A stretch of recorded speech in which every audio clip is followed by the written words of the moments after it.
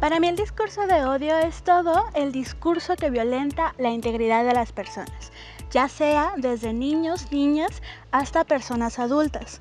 También la comunidad LGBT, personas que no tienen estudios, etc.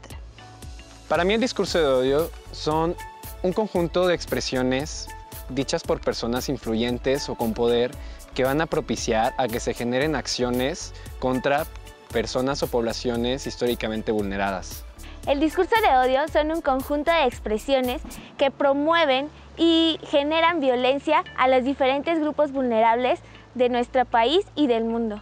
Para mí los discursos de odio son todas aquellas expresiones, posicionamientos o mensajes que emiten ciertas personas que cuando se encuentran en una posición de poder incitan a que otras personas violenten a ciertas, eh, a ciertas poblaciones o grupos que han sido históricamente vulnerados. Los discursos de odio son expresiones que son negativas y parten de la intolerancia a la diferencia. ¿Qué pasa con estos discursos de odio? Intimidan, agreden y nos dividen. Lo más grave es que nos impiden aprender de las otras personas, entender que la diferencia nos fortalece.